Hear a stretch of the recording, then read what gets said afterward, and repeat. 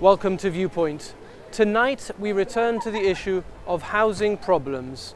Pressure Group Action for Housing again takes us into the homes of people living in desperate conditions. People renting privately but crying out for government help.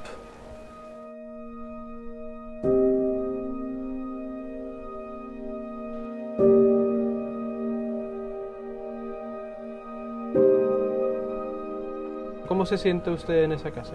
Ahora está ah, bien, pero luego falta ducha, hijo, y cocina no tengo, tú sabes. En la noche viene la gente para molestarme. Ahora eh, tengo mucho frío, yo no tengo ducha, tú sabes. Bueno, yo, soy, yo me llamo Mohamed Shargi. Vivo aquí de 1982. Ya va cerca de 40 años. ¿no? Y lo que pasa es que la casa todavía no hace falta decirte cómo está. Yo no estoy contento aquí. Pero he hecho una aplicación para ver si puede el gobierno darme una caseta que llevo ya 10 años esperando y todavía no me ha dado nada. ¿Cómo ve usted a su casa? No está bien. Como la jaula. Para cinco personas. Yo tengo 35 años aquí. Tenía muchos problemas para mí, para mi salud.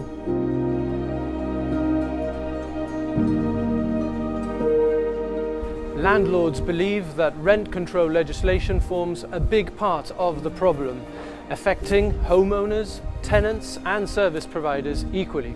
They've formed the Gibraltar Landlord Association and they say they're going to work with the government to modernise legislation.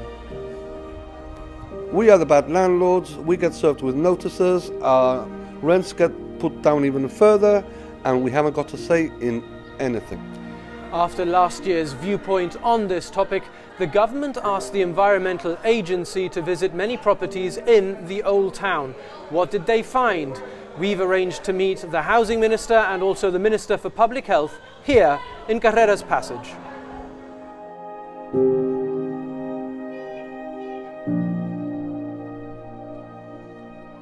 Since we, we last met about a year ago, we've been uh, visiting flats um, in, the, in the town area, mainly pre-war flats. And uh, it's been an, an, an eye-opener for, for us because we've seen how um, appalling most of these flats are and how uh, people live in places which are not fit for uh, human uh, habitation. So we agreed with government that uh, the uh, officials from the Department of the Environment would um, accompany us and uh, we've uh, done an, an, audit after we visited about uh, 98 uh, flats. I've got a list here. We, we visited and inspected 70 flats, visited and did not want inspection 21 and people not at home 7. So we visited a total of 98 flats number of um, abatement, uh, abatement orders were sent out, and these were 15, um, involving 36 uh, environmental agency properties. And um, apart from these, six um, cases were referred to the housing department. Um, two overcrowding with uh, serious defects, and one overcrowding only with mixing of sexes.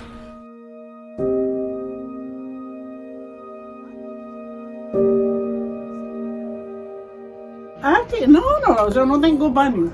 No tengo baño, nada. No tengo baño. Uh, toilet sí, pero la, el baño no. Yo miro la palangala para duchando. Hasta encima del mar. Y, y le eh, cerra la puerta, cerra todo y le caliente agua en la cafetera, la, uh, duchando con un palangala. ¿Tú sabes? La gente luego viene para noche para molestar a mí. Está durmiendo. Y dice, ¿quién es? ¿Quién es? ¿Quién es? Yo me asusta, hijo, me asusta. Y yo no tengo nadie aquí, sola. No tiene hermano, no tiene hermana, no tiene nada, yo sola. Y la noche, 35 años. Yo vine cuando la frontera, una semana y, y la frontera te abre. Antes, para pagar aquí, aquí, 100 libras. ¿Y ahora cuánto paga usted? Ahora 50. Yo voy con Monsieur Pinna. ¿Con Mr. Pinna te ayuda? Sí, y ayuda a mi pobre Billy.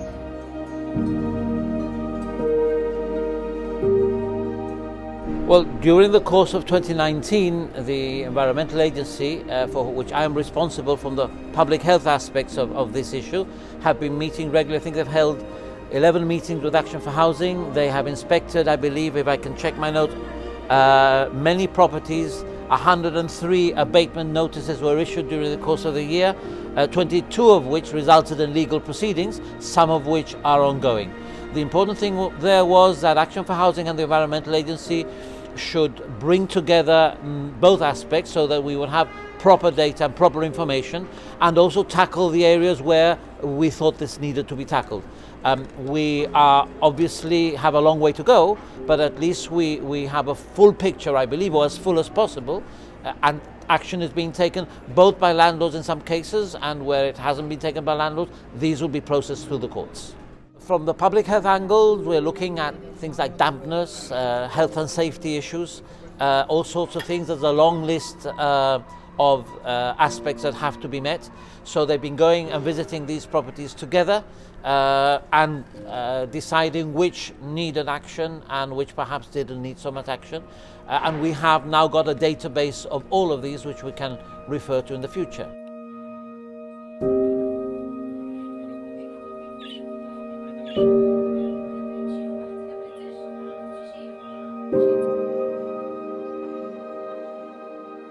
Never, never imagined that the Moroccan people live in that way. So, well, it was a, a record, it was a message for uh, government and for housing departments that we want them to know what's going on and we want them to know about it to make a decision, to make a, a different uh, a solution for that.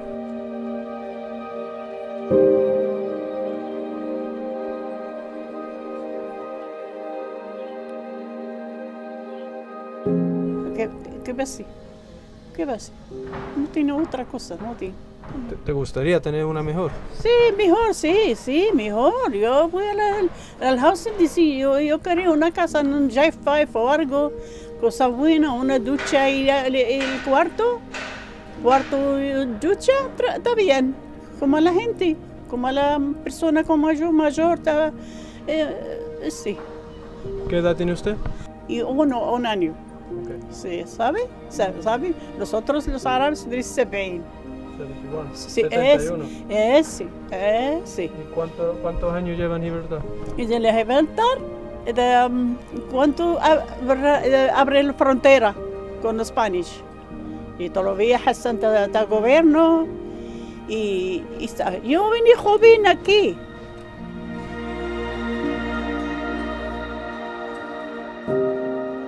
Recently become, uh, the, as from the last election, the housing minister.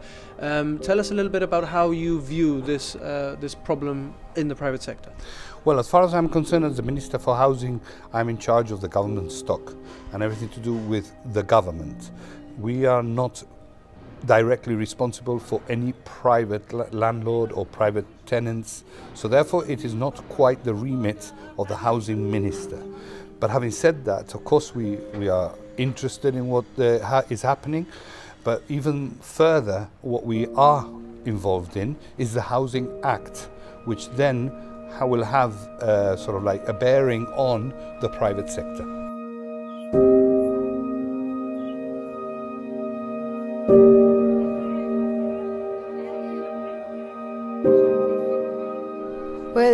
Last year, what we have done, me and Mr. Pinna, for me was the first time. I was I was shocked actually. What I have say uh, how people of Gibraltar, which is uh, Gibraltarian origin Moroccan, living in that conditions. For me was shocking, shocking. Ese tierra de nosotros. Yo vivía aquí mejor, mejor. Cuando fui a Marruecos dos semanas, para cinco meses, yo lo bajaba unas dos semanas y he vuelto. He vuelto aquí. Antes estaba trabajando, pero ahora 2011 ya salí, termina el trabajo. Ya, ya está. ¿Dónde trabajaba? Negro Hispano, una compañía, mi, soy sola. ¿Tiene usted pensión? Sí, gracias a Dios. Gracias a Dios. ¿Suficiente? Sí, alhamdulillah, que linda libra. Bueno, el gobierno le ayuda a mí un poquito. Y todo 500 y 40 libras en el mes. Dule gracias a Dios, nosotros pagarlo, pagar agua y eh, pagar la alquila y tú sabes la comida muy cara.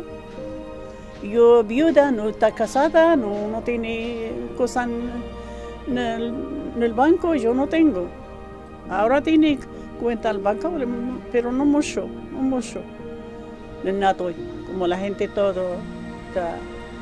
Entonces, más o menos llega a final de mes bien, justo. Un poquito, a veces, a veces bien, a veces eh, nosotros aguantando. ¿Qué va a hacer? ¿Qué va a hacer? Nosotros aguantando.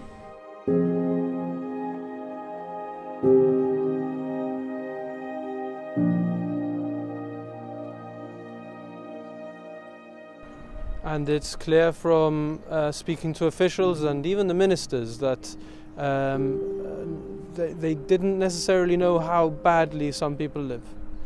Well, actually, today I was so happy to say that the ministers come today, Minister for Public Health and the Minister for Housing, they came personally to say the conditions. I was glad that they came and I saw their faces, they was like shocked and they never expected to find that uh, horrible conditions, how a human being live.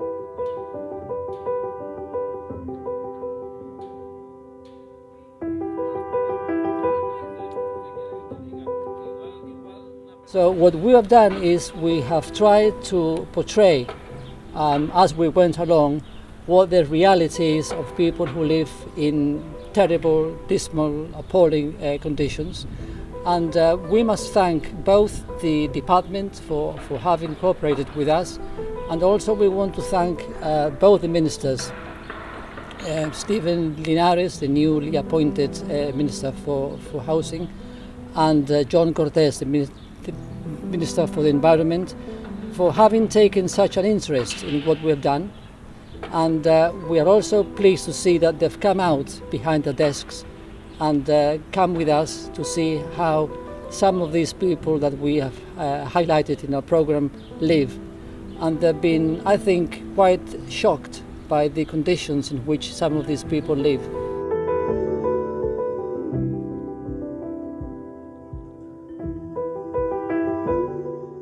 So we are, we are pleased that they have come along uh, because I think that at the end of the day, um, as they say, no, a vision or a, a seeing something is much more important than a thousand words. And I think that having come out um, uh, from their offices and come out with us and see what the conditions are, I think will will will help um, um, in the near future for things to well improve. So now it's up to up to them, up to the government to take action on what they have seen and deliver.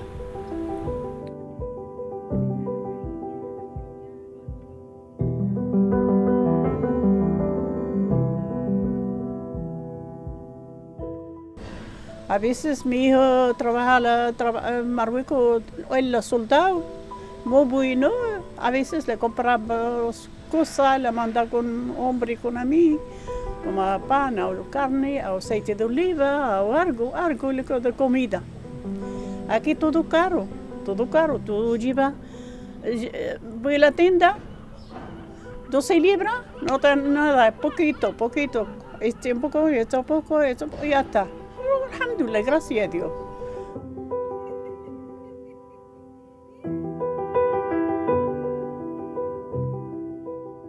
¿Cómo te puede ayudar el gobierno? Más. Va todo. El gobierno, yo lo vi de la- la- un cuarto, y cocina y ducha. Y alhamdulillah, gracias a Dios. ¿Qué queremos? ¿Ah? Hoy vinieron dos ministros para hablar con y ver su vivienda. ¿Qué te pareció? Muy bien, está contenta, gracias.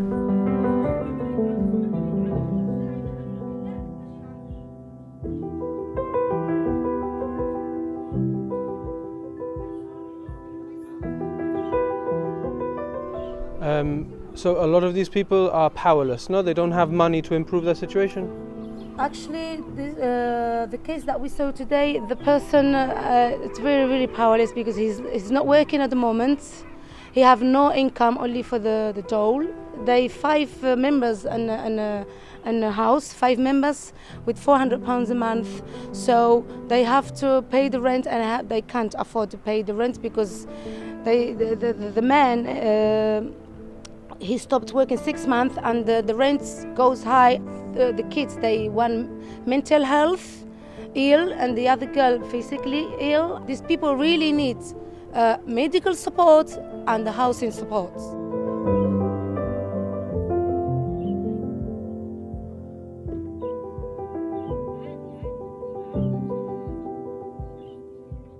It would be remiss of me not to put to you Action for Housing's um, view that the government is not moving quickly enough on this, evidenced by, uh, sadly, individuals who are stuck in uh, substandard accommodation and who spend their last years uh, in that uh, dwelling and, and pass away there. Well, and I, and I sympathise with that, and I'm, I'm, I'm meeting them next week. Uh, I'm going to try and deal with those specific problems. People in the who are acutely uh, or living in a bad state, how we can remedy those. We've also got to look at the private landlords and see what they can do, how they can contribute as well. So it's got to be a teamwork here, and we obviously we do not want anybody to live in the standards that they are living. I mean, it's it's not right, and I am the first one to admit that. But they are living, after all, in a private accommodation. So we need to, again, it's a, a thin balance on how we deal with it. As a minister, I can't deal with it, but I have to, and again, I'm having a meeting with the Landlords uh, Association, and I'm meeting with them to see what we can do to better the situations of the people living in those states.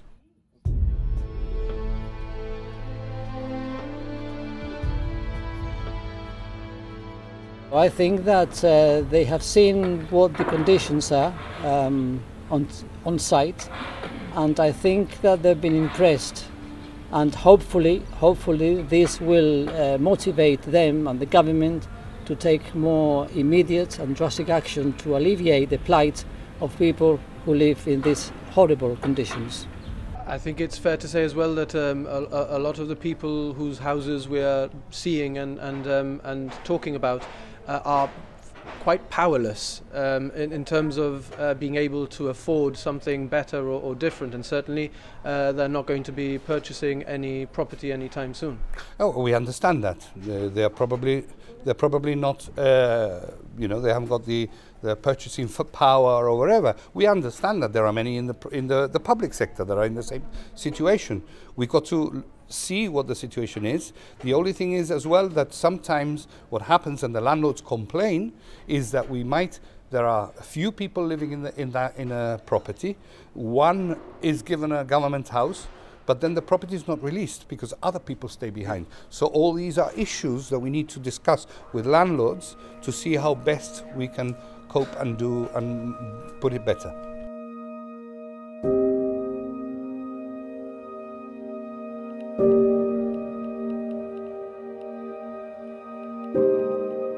Te manda los papeles todos los años, dice tanto punto, tanto esto, tanto el otro, pero todavía no, no ha llegado la hora de se toma una caseta. Yo soy un hombre ya mayor, jubilado, yo tengo 77 años. Mi mujer tiene 74. Ha hecho una operación para la pierna también, me ha, cambiado una, una vena por un tubo de placidez. Y mi señora también va a hacer una operación de, de la rodilla también, porque no puede ni andar. Y estamos operando hace ya 10 años y todos los años te manda un papel de punto eso y todavía aquí estamos operando todavía. Y ustedes están está mirando cómo está la casa. Problema toda completa, ni, un sitio bueno para dormir, un sitio bueno para duchar, ni un sitio bueno para el servicio. Y usted está mirando, está mirando todo. No hace falta. La casa no está en condiciones para vivir personas, pero vamos. Mientras que no tengo otra cosa, yo gano muy poco, cosa, muy poco dinero de- del jubilado, no he podido conseguir una casa del que le más cara que esa y aquí estoy aguantando.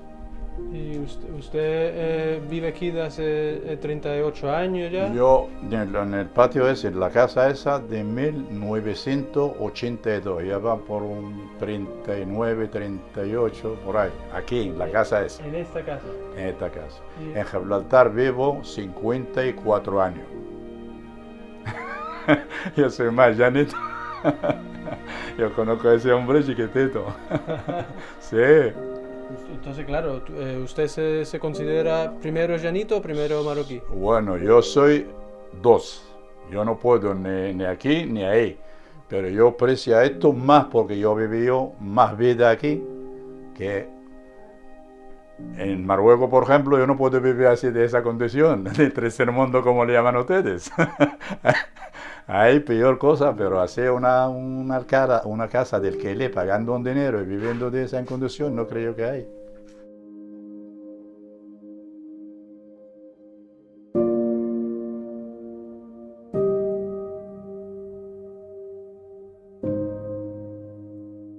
Well, I, I, think that, that the condition that, that we know that some people are, are living in is not acceptable. Uh, this is a problem which has been decades in the making, uh, but you've got to start somewhere and we have to deal with it. I think it's complete, completely vital that, that people should live in dignified and safe surroundings, uh, and I will do everything in my power from my area to ensure that this happens. I think that pressure has to be put, as we're doing on landlords, to, to have the properties up to, to scratch. But there are other wider issues which are also being dealt with by other government departments. Um, but I'm absolutely convinced that this has to be dealt with and dealt with uh, firmly and as quickly as possible. In eight years, the GSLP Liberals have not built any housing for rental, which is what Action for Housing think is most needed. Well, what we are doing is we're going to as you know, we've embarked on three major estates that we are building, and we are building for sales, that's clear. But on the back of that, there are still many, when the, for example, Hassan Centenary Terraces is built, we will then assess the amount of housing that we get back. And that would obviously open many doors, as in people who will come into the housing stock.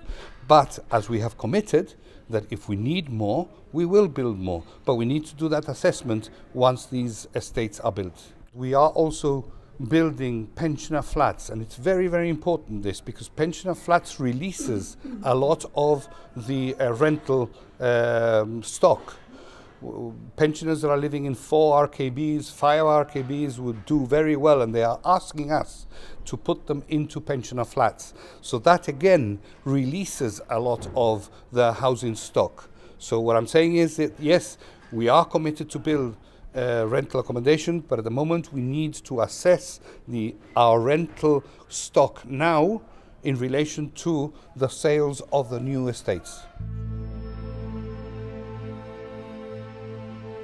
We, we don't agree with that. I think that uh, people who live in these conditions now need immediate, and I say immediate, uh, recourse to decent, dignified uh, uh, housing accommodation, and that we cannot wait, or they cannot wait another four or five years before the other ones, the, the so-called low-cost uh, housing are built, and then take a decision as to whether they build housing for rental or not. Housing for rental is needed now, immediately uh, to accommodate people who are now in the 70s and who might not be alive in four, five, six years' time. So the, the problem must be resolved now and not in five or six years' time.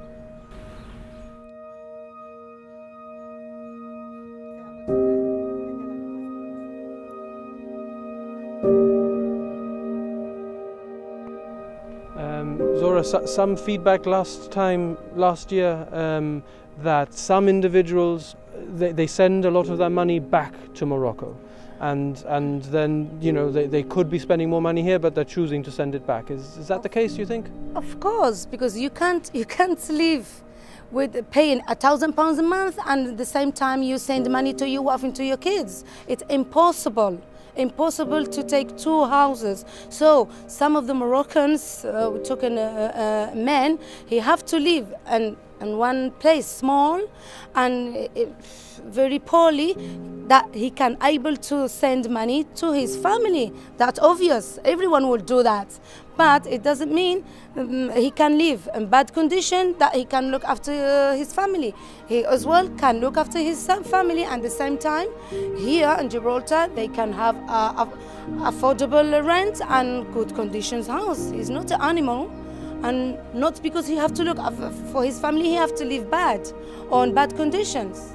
I'm totally disagree with that because i heard from uh, gibraltarians in street telling me well the moroccan they got uh, flat in morocco they got good house good this and good that. Doesn't doesn't mean anything? It, uh, so so if he have got good house in morocco because and he have to live bad here we have gibraltarian we have houses and uh, Santa Margarita and uh, you know what I mean uh, and uh, Sotogrande and they have house here as well so what's the point this is me off sorry my reaction but this is the reality we live in ¿Y usted tiene que mandar, tiene familia en Marruecos que tiene que mandar claro, dinero? Pues claro, tengo familia, tengo que mandar un poquito cuando pueda, porque ya me sé, está un poquito mayorcito, ya cada uno busca la vida, pero siempre necesita una ayuda, ¿sabes? Y mientras que pueda, pues puede ayudarle. thank you.